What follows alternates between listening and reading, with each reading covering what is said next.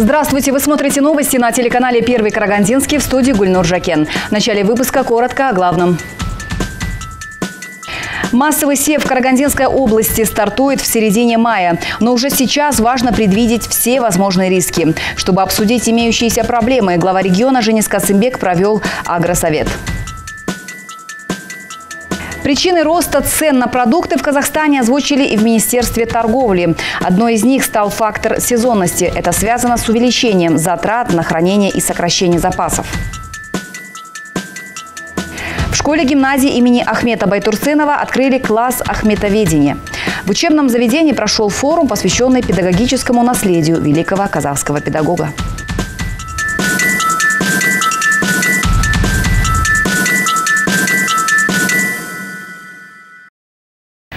Глава государства Касымжумар Токаев подписал указ о дебюрократизации государственного аппарата.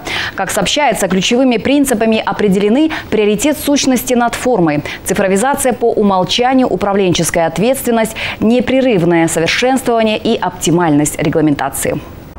Указом предусмотрен комплекс системных и прикладных мер, реализация которых обеспечит ускорение принятия решений в госаппарате, повышение самостоятельности и персональной ответственности первых руководителей госорганов, сокращение документооборота и отчетности.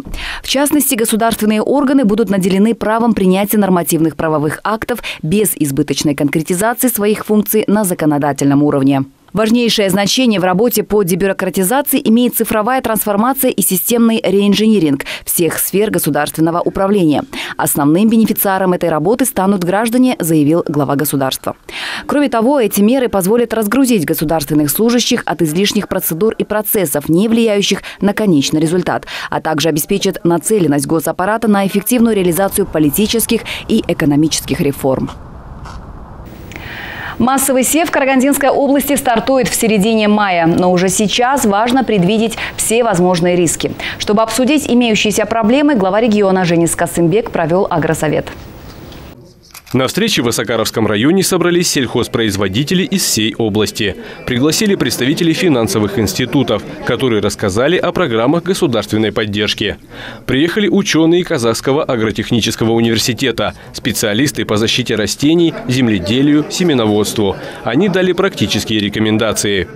Посевные площади в Карагандинской области растут с каждым годом. В этом году они превысят миллион гектаров. Фермеров призвали к соблюдению агротехнологий. От этого зависят урожаи. А государство стимулирует рачительное отношение к земле. В этом году из бюджета выделено более трех миллиардов тенге на субсидии высококлассных семян, минеральные удобрения и гербициды. Понимаем ваш тяжелый, сложный, важный труд – огромное количество и рабочих мест, и вопросы продовольственной безопасности, особенно сейчас турбулентное время, когда вы видите, да, во всем мире растут безумно цены на продукты питания, особенно социально значимые, нестабильность есть международная. Вот именно от вас зависит то, как будет э, наше население вообще воспринимать ту политику, которую государство ведет. Сегодня обсуждали вопросы субсидий, это еще раз повторяюсь, Государство имеет возможность сегодня такую поддержку оказать, и она оказывает.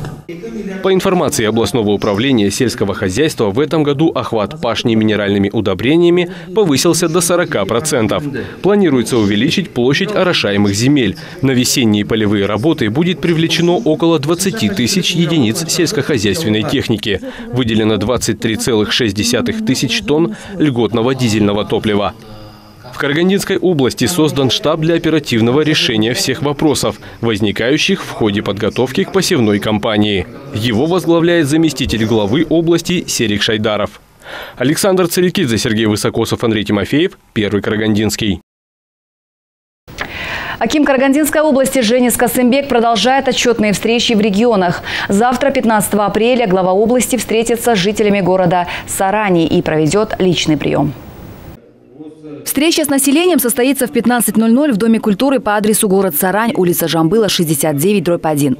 Личный прием начнется в 17.00. Для сбора вопросов и предложений от населения создана рабочая группа. Напомним, что глава области Женис Касымбек в этом году проводит отчетные встречи в каждом регионе. На прошлой неделе он встретился с жителями Каркаролинского района. Местные жители говорили о проблемах в жилищно-коммунальной сфере, ремонте школ и сельских клубов, состоянии дорог, нехватке пастбищ и многом другом. Кроме того, каркаролинцы уже долгое время ждут, когда каждый их дом обеспечит качественным водоснабжением. Чтобы решить эту проблему, в городе строит водовод Жарлы-Каркаролинск. В этом году проведут основные работы, а в следующем объект должны сдать. Ситуация с ценами на продукты питания сегодня волнует всех жителей Карагандинской области. И вопросы они адресуют представителям власти всех уровней. На днях с жителями поселка Актау встретился заместитель Акима области Вадим Басин. Добрый день, уважаемые жители поселка Актау. По поручению Акима области сегодня проводится наша встреча. Я заместитель Акима области занимаюсь вопросами промышленности, энергетики, ЖКХ, промышленной безопасности МЧС. Заместитель Акима Карагандинской области Вадим Басин встретился с жителями поселка Актау. На встречу он выслушал жалобы и предложения собравшихся. Один из актуальных вопросов – повышение цен на продукты питания. У нас повышаются цены. Кто их проверяет, законно ли это делать? Есть такие перекупщики, которые наживаются на этом деле. По ценам, ну, сейчас ведется работа, да, сразу не, уда не удалось остановить цены, к сожалению, они действительно растут. Растут цены на капусту, на э, морковь, на э, ну, сахар, вы знаете, проблемы с сахаром, мука, вот сейчас вы правильно сказали. Но сейчас делается выделяются деньги, деньги из госфонда для того, чтобы э, закупал, закупались со стороны социально-предпринимательских корпораций вот эти, прежде всего, те продукты питания, на которых идет повышение цен.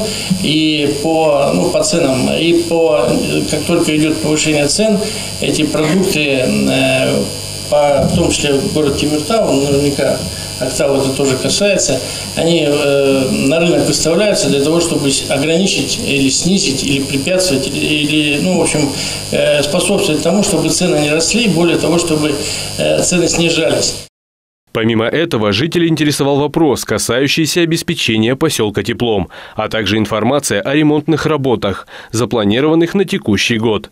Такие встречи, по словам специалистов, не только способствуют укреплению прямых отношений между народом и властью, но и помогают своевременному решению вопросов. В текущем году на благоустройство поселка Актау выделили средства в размере 1 миллиарда 207 миллионов тенге. По сравнению с прошлым годом бюджет села вырос в три раза. Александр Церекидзе, Сергей Высокосов, Андрей Тимофеев, Первый Карагандинский. Причины роста цен на продукты в Казахстане озвучили и в Министерстве торговли. Одной из них стал фактор сезонности. Это связано с увеличением затрат на хранение и сокращение запасов. На стоимость мяса и молочной продукции повлияло удорожание кормов в результате засухи. В Минторговле планируют сократить финансирование стабилизационных фондов и разрешить им закупать только те товары, которые можно хранить – рис, сахар, гречку, соль. Скоропортящиеся товары намерены реализовывать по оборотной схеме. При этом цены на продовольствие продолжат расти, отметили в министерстве. Сегодня чиновники намерены выявить всю цепочку посредников – подготовили совместный проект приказа. Сейчас он проходит в соответствующие инстанции, где мы будем отслеживать э, продукты социально значимые от производителя до торговой точки. То есть всю цепочку посредников мы планируем видеть, э, кто как накручивает, количество посредников, чтобы понимать, что творится у нас на самом деле. А то эта отрасль осталась совсем, так сказать, за, под занавесом.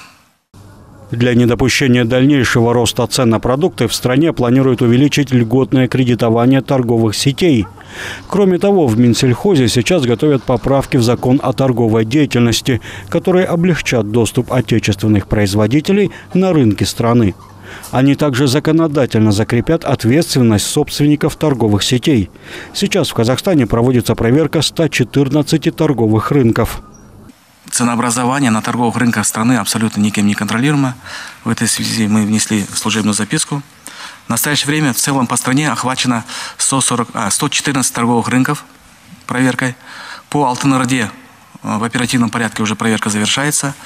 По результатам э, контроля выявлено много нарушений, в том числе налогового законодательства, где э, сумма начислений – и взыскание уже превысило, до начисления взыскания превысило 1 миллиард 100 миллионов тенге.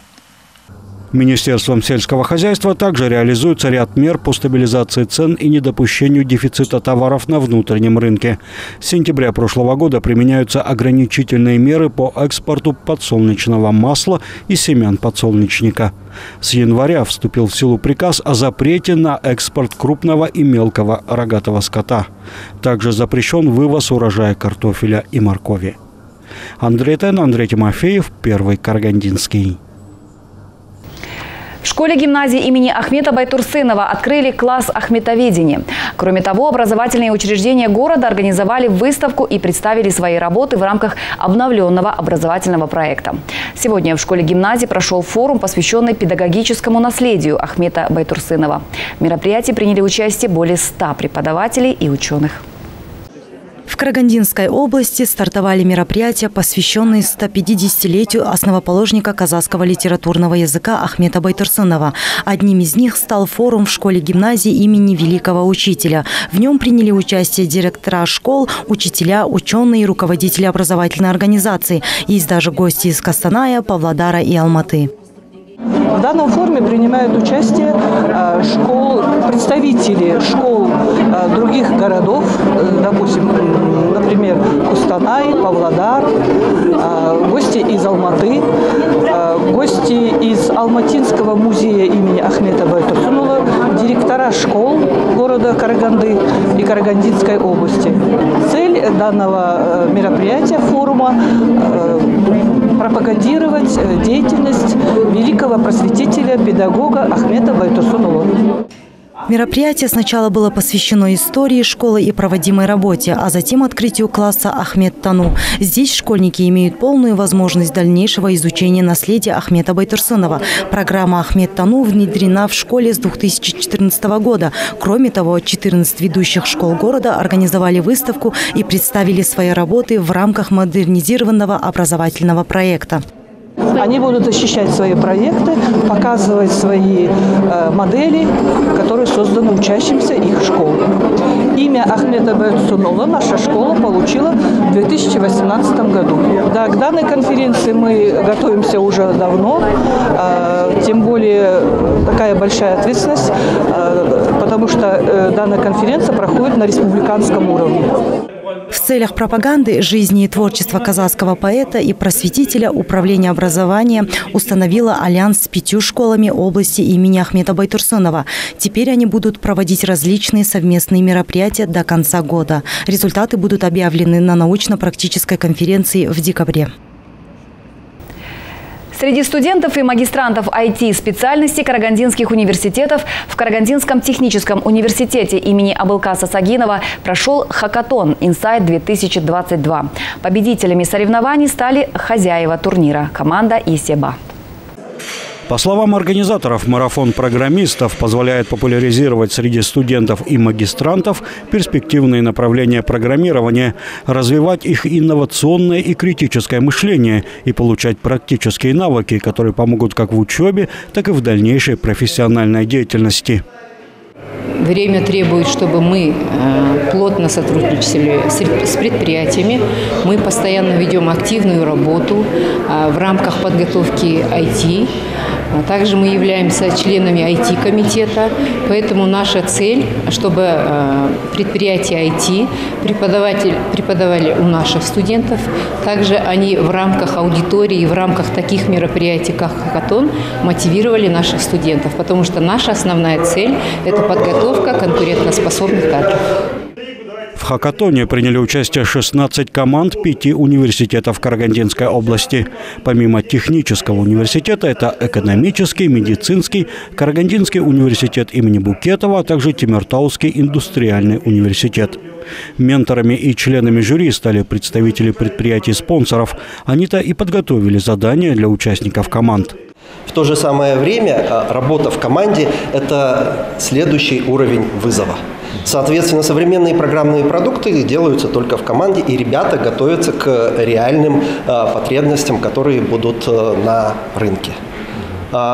Что касается заданий, то от ИПАМ мы приготовили задание, которое не сфокусировано на нашем бизнесе, но оно помогает каждому из нас, каждому карагандинцу. Суть задания в том, что мы хотим, чтобы участники хакатона подумали над тем, каким образом можно увеличить процент переработки вторичного сырья, сдачи сырья, пропагандировали культуру экологичности и чтобы это пошло в массы. В финал вышли 12 коллективов. По итогам выступлений лучшей признана группа айтишников «Эссеба» из технического университета. Параллельно с решением задач, которые команды реализовывали в специально обустроенных переговорных комнатах, в конференц-зале и двух лекториях представители бизнеса провели презентации своих предприятий и сессию «Вопрос-ответ» со студентами вузов о прохождении практики, написании дипломных проектов и трудоустройстве в компаниях. Андрей Тен, Нариман Доголев, Андрей Тимофеев, Первый Карагандинский. Очередная ярмарка вакансий пройдет завтра в Караганде. Она состоится в Доме культуры «Молодежный», который находится в Пришахтинске. Центр занятости приглашает карагандинцев принять участие в ярмарке свободных рабочих мест. Основной целью ярмарки является повышение уровня занятости населения и сокращение уровня безработицы, а также установление непосредственного контакта работодателей и граждан, ищущих работу. Принять участие в ярмарке могут лица, ищущие работу, в том числе безработные из числа выпускников высших и средних специальных учебных заведений, а также отдельные категории граждан, состоящие на учете в службе пробации, лица с ограниченными возможностями, граждане граждане, имеющие задолженность по алиментам. Ярмарка пройдет 15 апреля в Доме культуры «Молодежный». Начало работы – 14 часов. Напомним, что это будет уже третья городская ярмарка вакансий с начала года, и все они проходили в торговых центрах, где собирается больше всего горожан. Самые востребованные специальности на рынке труда – это квалифицированные рабочие. На ярмарках предлагается около двух тысяч вакансий. В качестве работодателей выступают свыше 30 предприятий и организаций. Помимо непосредственно работы, карагандинцам предлагается пройти обучение. Для посетителей также организуют информационно-разъяснительную работу по вопросам трудоустройства по различным направлениям. Среди них молодежная практика, первое рабочее место, серебряный возраст. Андрей Тен, Андрей Тимофеев, Первый Карагандинский. Карагандинские полицейские продолжают мероприятие, посвященное году детей. В рамках акции «Я и мой полицейский» в спортивном обществе «Динамо» стражи порядка провели состязания по баскетболу и волейболу среди школьников. С 11 по 15 апреля в Карагандинской области проводится акция «Я и мой полицейский». В рамках акции в спортивном комплексе «Динамо» провели соревнования среди учащихся Караганды по баскетболу и волейболу. За призы боролись команды юношей и девушек старших классов. Э, президентом э, Республики Казахстан 2022 э, год объявлен годом детей, в связи с чем сотрудниками ювенальной полиции Департамента полиции Карагандинской области с 11 по 15 апреля текущего года проводится акция «Я и мой полицейский». В рамках данной акции в спортивном комплексе «Динамо» проведено соревнование по волейболу, баскетболу среди учащихся школ города Караганды. Такие мероприятия будут проводиться на постоянной основе. Состязания прошли в упорной борьбе. Ребята проявили спортивный дух и волю к победе. По итогам соревнований первое место по баскетболу заняла команда школы номер 83. Лидерами в волейболе – ученики школы номер 88. Всем участникам вручены медали, грамоты, а победители получили памятные кубки. Меня зовут Агеев Тимур, я учусь в 83-й школе в 9 Б классе. Я занимаюсь баскетболом с 4 лет. В этом возрасте я с дедушкой ходил просто играть на баскетбольное поле, мы с ним просто дурачились, а теперь, мне, теперь это мой основной вид спорта. Меня зовут Штеттингер Софья, я ученица 8 класса 88 школы. Я очень рада, то, что наши полицейские проводят акцию, и, и, и мы сыграли в соревнованиях. Лично я считаю, то, что такие соревнования должны проводиться куда более чаще для того, чтобы укреплять спортивный дух и межличностные отношения между соперниками. Александр Царикидзе, Нариман Доголев, Андрей Тимофеев. Первый Карагандинский.